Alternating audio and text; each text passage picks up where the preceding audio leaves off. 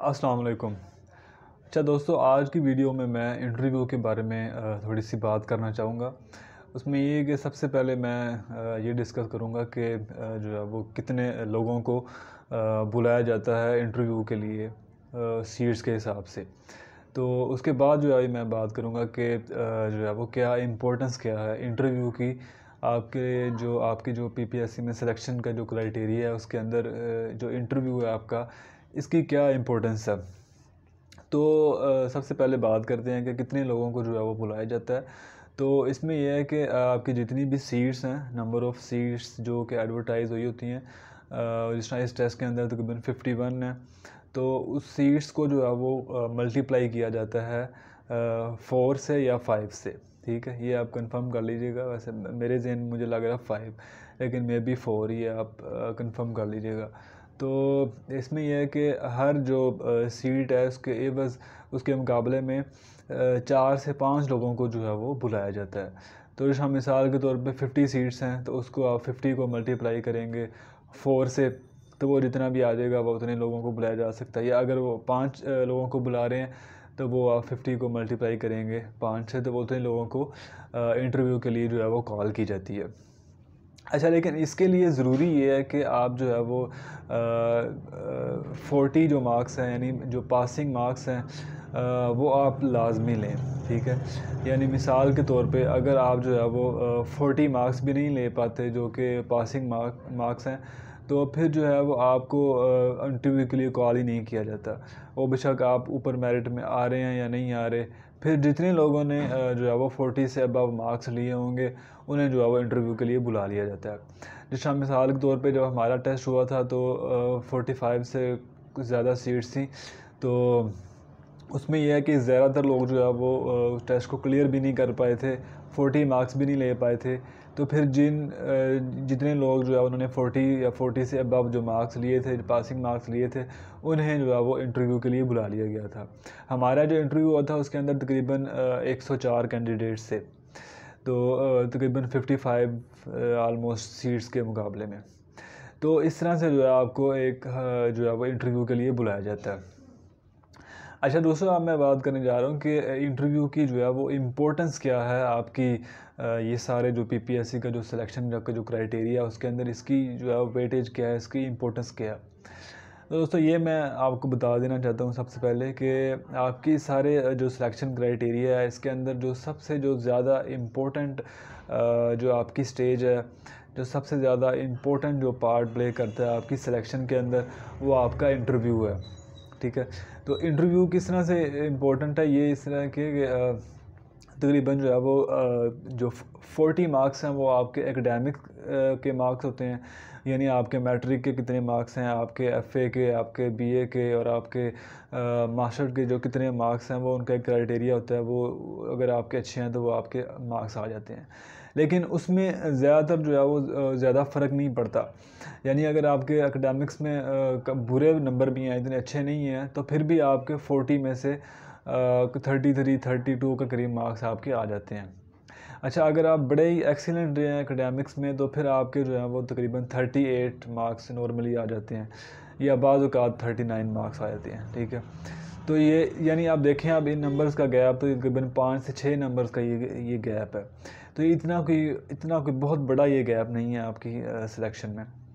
अच्छा अगर हम आप बात करते हैं टेस्ट की तो टेस्ट जो है वो आपको पता है हंड्रेड मार्क्स का होता है। तो वो लेकिन ये है कि उसका जो है वो, उसकी फिफ्टी परसेंट जो है वो, उसके जो मार्क्स हैं वो आपकी जो है फाइनल सिलेक्शन जो क्राइटेरिया है उसके अंदर उसकी वो वो जो है वो वो कंसिडर किए जाते हैं। मिसाल के तौर पे अगर आपके जो है वो 80 मार्क्स हैं टेस्ट के अंदर तो आपके जो है वो 40 मार्क्स आपके जो ओवरऑल जो पूरा सिलेक्शन का क्राइटेरिया होता है, उसके अंदर वो 40 मार्क्स वो कंसीडर किए जाते हैं। इसी तरह अगर आपके 60 हैं तो वो 30 मार्क्स कंसीडर कर लिए जाते हैं। तो ये इसकी वेटेज है, यानी ये भी, यानी क्वालिफ़िकेशन से ज़्यादा इंपॉर्टेंस समझ लें आप, इसकी आ जाती है।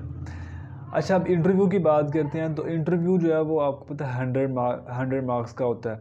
और ये हंड्रेड के हंड्रेड मार्क्स ही आपके जो है वो, जो फाइनल आपका जो सिलेक्शन क्राइटेरिया है, उसके अंदर ये जो है वो कंसीडर किए जाते हैं। तो आप देखें कि फोर्टी मार्क्स वो एकेडमिक्स के और फिफ्टी मार्क्स टेस्ट के कंसीडर किए जाते हैं और हंड्रेड मार्क्स जो हंड्रेड मार्क्स हैं ये आपके इंटरव्यू के पूरे के पूरे नंबर यानी कि वो आपके फाइनल सिलेक्शन क्राइटेरिया के अंदर वो कंसिडर किए जाते हैं। तो इससे पता चल जाता चाहिए आपको कि इसकी जो है वो इम्पोर्टेंस इसकी वेटेज कितनी ज़्यादा है इसके जो सिलेक्शन क्राइटेरिया के अंदर। और अनफॉर्चुनेटली ये कह लें आप कि हम जो है वो, जो हमारे नज़दीक जो सबसे नेगलेक्टेड पार्ट होता है, वही यही होता है इंटरव्यू का। कि हम जो है वो टेस्ट के लिए बड़ी प्रिपरेशन करते हैं, लेकिन इंटरव्यू को हम समझते हैं कि शायद ये कोई एक हवाई चीज़ है और जो है वो ये बगैर प्रिपरेशन के जो है वो आप समझते हैं कि हम जाएँगे और जो है वो अब सिलेक्शन सिलेक्शन हो जाएगी। मैं आपको बताना चाहता हूँ कि इंटरव्यू की भी एक जो है वो एक प्रॉपर जो है वो प्रिपरेशन है। तैयारी के बगैर जो है वो आपका इंटरव्यू भी जो है वो क्लियर नहीं होगा जिस से टेस्ट क्लियर नहीं होता। तो आपको वेटेड समझ आ गई अभी कि ये, इसकी जो इम्पोर्टेंस है वो कितनी ज़्यादा है। तो आप आपने जो है इसकी वेटेज के हिसाब से जो है वो इसको इम्पोर्टेंस देनी है इसकी प्रिपरेशन करनी है। अच्छा इसकी प्रिपरेशन के लिए आप एक चीज़ ये है कि इसमें जो है आ, आपके जो कॉन्सेप्ट्स हैं वो बड़े क्लियर होने चाहिए। टेस्ट में भी ये आपके कॉन्सेप्ट से क्लियर होना ये बड़ा ज़रूरी है लेकिन फिर भी आप कह लें कि किसी न किसी हद तक वो ज़्यादा डीप नहीं है, एक बात जाती है क्वेश्चन आता है तो वो आपने उसको उतना ही अटैम्प्ट करना है। वो अगर आपने कहीं बुक में या कहीं इधर उधर आपने, आपकी नज़र पड़ी हुई है तो आपका ठीक हो सकता है। लेकिन इंटरव्यू में ये चीज़ नहीं है। इंटरव्यू में आपसे कुछ भी पूछ सकते हैं और आपको वहाँ पे कॉन्सेप्ट्स अपने जो है वो क्लियर करके बताने पड़ेंगे क्योंकि जो आपके सब्जेक्ट स्पेशली जो भी मौजूद हैं, वो आपके जो है वो कॉन्सेप्ट्स को देखेंगे। और वो हो सकता है कि वो जो है वो डीपली जाए इन चीज़ों की तरफ़। फिर उसमें आपके जो है वो कॉन्सेप्ट क्लियर करना वो बड़ा ज़रूरी है आपके लिए ताकि आप जो है वो आ, उनको जो है वो सेटिस्फाई कर सकें। तो उसके लिए ये है कि हमारे पास जितना भी ये जो जो बेसिक कॉन्सेप्ट हैं मुख्तलिफ़ सब्जेक्ट्स के वो जो है हमारे पास उनके नोट्स भी अवेलेबल हैं सब्जेक्टिव फॉर्म में जो कि आपकी आ, आपके कॉन्सेप्ट क्लियर करने में बड़ी हेल्प करते हैं। और इसके अलावा यह है कि आप जो हमारी इन इन इनके जो वीडियो लेक्चर्स हैं, वीडियो लेक्चर्स में हमने कोशिश की है कॉन्सेप्ट को, जो बेसिक कॉन्सेप्ट हैं, जितने भी उनको क्लियर करने की। तो वो भी जो है, वो हमारे पास अवेलेबल हैं, वो आपके लिए बड़े इम्पोर्टेंट हैं, क्योंकि वो सारा जो हमारी तवज्जो है, उसके अंदर वो है ही आपके कॉन्सेप्ट क्लियर करवाना है। तो वो बड़ा कोशिश हमने की है कि आसान अल्फाज में जो बेसिक कॉन्सेप्ट हैं वो सारे हम हमने क्लियर करवाए। हैं तो अगर वो आप जो नोट्स वगैरह हैं और वीडियो लेक्चर्स हैं वो लेना चाहते हैं तो अभी जो है मैं वीडियो के नीचे अपना व्हाट्सअप नंबर में आपको सेंड कर दूँगा शेयर कर दूँगा आपके साथ तो आप वहाँ से वो मेरे साथ कांटेक्ट कर सकते हैं। और आखिर में दोस्तों मैं ये आपसे कहना चाहूँगा कि आप काइंडली अपना जो है वो टाइम जो है वो वेस्ट बिल्कुल ना कीजिएगा। क्योंकि अभी जो है जिस तरह से आपका, जिस तरह से आपका रिज़ल्ट आएगा, आपके टेस्ट का तो आपको पता भी नहीं चलेगा कि बड़े कम टाइम के अंदर जो है वो आपको इंटरव्यू के लिए बुला लिया जाएगा। जिस तरह हमारी दफ़ा हुआ था, जो फीमेल का जब रिज़ल्ट आया था तो वो तकरीबन एक वीक के बाद ही उनके जो इंटरव्यूज़ हैं, वो स्टार्ट हो जाएँगे। तो वो आपको जो है वो ख़ास प्रिपरेशन का अपने कॉन्सेप्ट क्लियर करने का, उस वक्त बिल्कुल भी टाइम नहीं मिलेगा। आप इस चीज़ का वेट ना कीजिए। और दूसरा ये है कि, और इसी तरह हमारा जो था, वो हमारा भी तकरीबन दो वीक्स के बाद हमारा भी जो है वो, यानी जब रिज़ल्ट आया टेस्ट का, उसके बाद दो वीक्स के बाद हमारे इंटरव्यू भी स्टार्ट हो गए थे। तो और इसी तरह अभी आपने जो देखा जो लेटेस्ट जो सीट्स आई थी लेक्चरर इस्लामिक स्टडीज़ की, अभी वो, उसकी जो क्लोजिंग डेट थी, उसके जो है वो दो हफ़्ते बाद ही पी पी एस सी ने उनका जो प्लानर के अंदर उनका जो टेस्ट वो कंडक्ट करने का जो है वो प्लान दे दिया। तो आपसे कहने से मुराद ये है कि आपको जो है वो इजी नहीं होना और अपना जो है वो टाइम वेस्ट नहीं करना और ये वेट नहीं करना कि अभी टेस्ट का रिज़ल्ट आएगा तो हमारी सिलेक्शन होगी तो फिर हम जो है उसकी प्रिपरेशन करेंगे। नहीं नहीं, ये ऐसा नहीं करना आपने। क्योंकि जब रिज़ल्ट आ जाएगा टेस्ट का तो उसके बाद जो है वो इंटरव्यू की डेट आने में आपको पता भी नहीं चलेगा। वो फिर आपको जो है वो इतना इनफ टाइम नहीं मिलेगा कि आप जो है वो उसके लिए प्रिपेयर कर सकें। तो उसके जो है वो बेस्ट तरीका यही है कि अभी जो है वो अभी से आप प्रिपरेशन करें।